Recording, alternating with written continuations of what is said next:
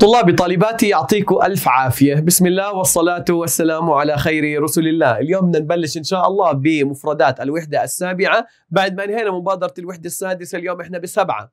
وإن شاء الله مكملين حتى نبدأ ونتألق. ثلاث أجزاء لطيفات جميلات بتلخص لك كل معاني الوحدة السابعة بإذن الله العلي القدير. طلابي طالباتي أول شيء إن شاء الله بدنا نبلش باللي هو آه، الفيديو لليوم. راح نبلش من كلمة circulation اللي هي اللي عند كلمة دقيقة بس أشوف إنه عشان نقسمهم. يعني أتوقع كافيات وحلوين وجميلات.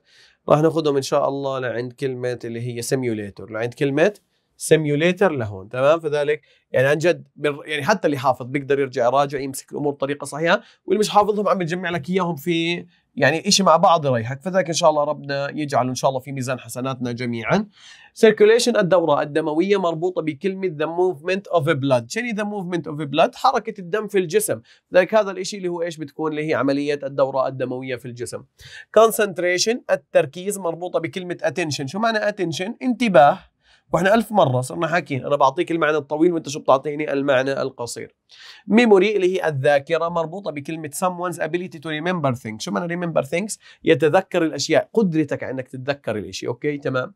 Nutrition التغذية مربوطة بكلمة good health. شو معنى good health الصحة الجيدة الصحة الكويسة. فلذلك إحنا دائما nutrition هو نظام التغذية the process of getting the right kind of food for good health and growth. Dehydration الجفاف مربوطة بكلمة little water كمية مياه قليلة كمية مياه قليلة. ذاك لا سمح الله بيتأدي إلى الجفاف. تمام.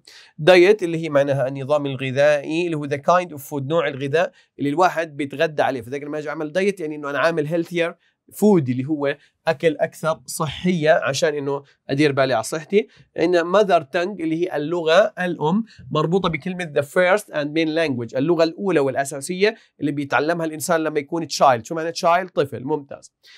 multilingual اللي هي معناها متعدد اللغات مربوطة بكلمة speaking, reading or writing in more than two languages. لما الواحد يحكي ويكتب ويقرأ أكثر من لغتين شو بنسميه multi multilingual اللي هي معناها متعدد اللغات. simulator اللي هي جهاز المحاكاة مربوطة بكلمة device شو معنى device حبايبي؟ اللي هو جهاز هذا الجهاز بحط لك ب conditions معينة اللي هو ظروف محددة وبيخليك إنك تسوي يقيس مدى تركيزك أثناء القيام بعملية ما. زي ما ذكرناها بقطعة تعلم لغة أجنبية لما خلاه زي كأنه يقود السيارة ويقيس مدى تركيزه بمهام مختلفة. فلذلك عندنا الآن الجزء الأول بفضل الله عز وجل تم. ديروا بالكم ادرس منيح. ثلث ساعة لما تخصصها تراجع فيها الكلمات وتحفظها وتكررها والله بتستاهل. لما كل فرع بالامتحان لو عليه أربع علامات حكينا مبنية مشكلة بحد ذاتها. هدول المعاني ما بيفيدوني بس بالإنجلش. إنجلش أكيد بيفيدوني أيضا بالإنجليزي عربي لسؤال. املأ الفراغ لما يعطيك أربع كلمات مختلفة. حفظ معانيك بريحك كثير وبساعدك. يعطيكم ألف عافية.